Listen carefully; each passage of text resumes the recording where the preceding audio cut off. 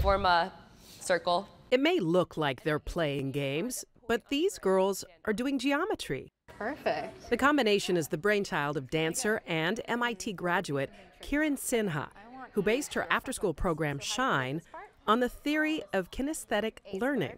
This concept that by moving and, you know, by moving your body and using your brain simultaneously, you're able to better retain information. I couldn't recite the periodic table, but I can still play piano pieces or do dances to moves that I learned years and years ago. Two units to the positive x direction.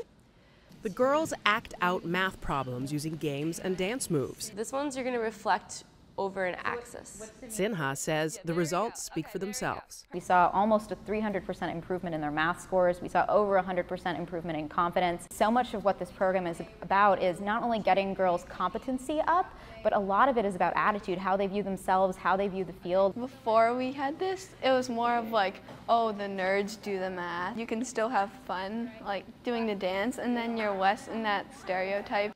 It's that change in attitude that Shine believes may be the key to inspiring girls everywhere to stick with STEM. I do think that this is the kind of programming that can help girls all over the country, regardless of where they are. It's a really exciting time of growth, and it's a real chance for us to change an entire generation.